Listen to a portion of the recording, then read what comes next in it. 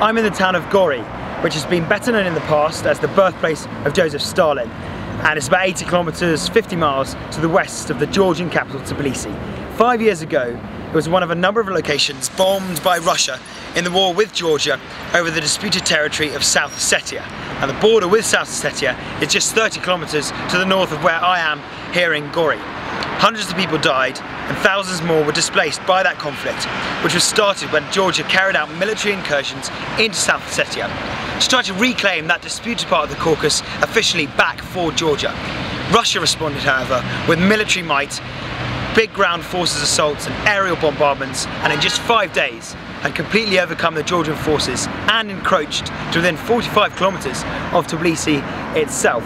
And now as we move through this period marking five years since the war, we've seen a heightening of tensions between the two countries. Dmitry Medvedev is the president of Russia at the time, he's now the current prime minister, and he has said, with hindsight, he'd act completely the same way again, carry out the same operation.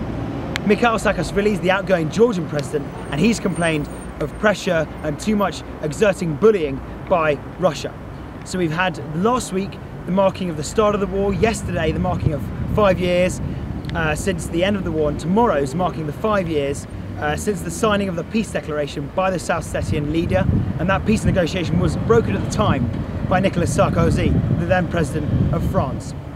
So however, as we've had five years since this hostility, it seems that despite marking that, that period since hostilities ended, it really has been anything but an end to the tension between these two countries and the one disputed area of the South Caucasus.